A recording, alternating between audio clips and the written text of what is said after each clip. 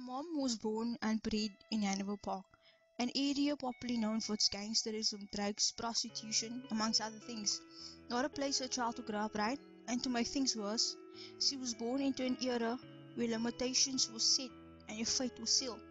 She lived under the apartheid regime, and to lighten the financial burden that it had on her family, she had to go work at the age of 14.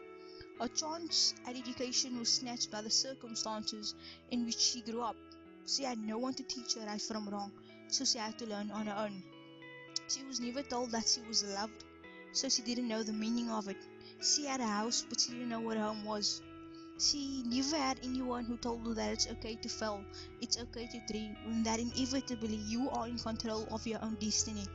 So she had to fail until failure was no longer an option. My mom was in an abusive relationship. I have no idea of what she had to endure, but I know it wasn't easy, and as soon as I'll know, it wasn't easy raising my three brothers on her own. But now she has a daughter who can't imagine a life without a mom. Mom, you are my everything. Even if I don't say it, know that you are. Know that I would go to all the ends of the earth for you. Know that you know that your sadness is my sadness. Your happiness is my happiness and your sorrow is my sorrow. I often ask myself what I would be without you, without you supporting me, where I would be without your guidance. And it makes me feel guilty because I don't always appreciate the things you do for me. You do for me when no other has done. When I failed, you always there to tell me that everything is okay and that failure is part of life. That failure will make me strong. When I was hurting, you would make everything better. You would soothe the pain with words of wisdom. The lessons you learned, you taught me. The mistakes you made, you made sure I didn't repeat it. You always say that you never want me to go through what you went through.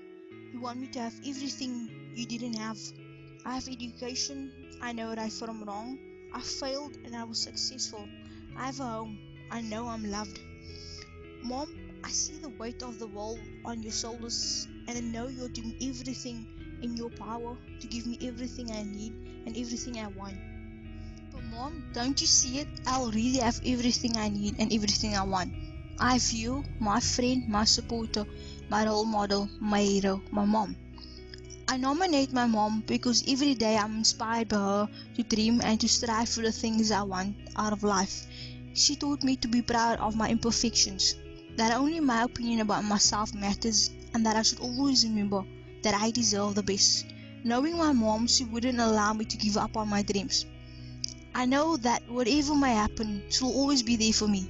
I nominate her because there isn't and will never be anyone who could take her place.